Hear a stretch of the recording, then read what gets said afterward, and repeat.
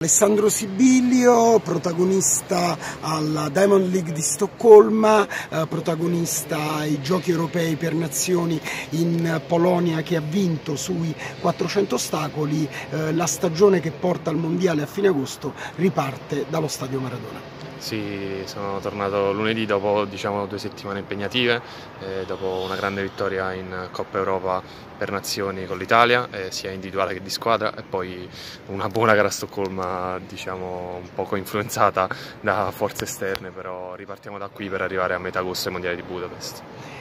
Tu sei un ostacolista, sei abituato a superare gli ostacoli, su Instagram hai fatto una denuncia che la pista del eh, Maradona non è al meglio, ha delle eh, problematiche, ma al di là di questo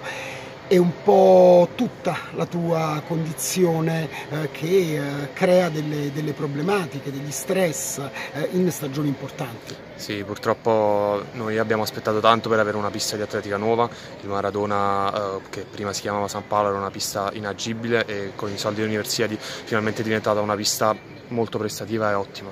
purtroppo stiamo sprecando questo bene che abbiamo costruito come solo noi sappiamo fare e anche perché ci sono tanti atleti, oltre che me, che io ormai sono un atleta di livello internazionale quindi riesco anche a, diciamo, a trovare una seconda via quando ci sono questi problemi, invece ci sono tanti ragazzi che eh, come me vogliono fare gli atleti e in queste condizioni rischiano di farsi male o addirittura di non riuscire a fare atleti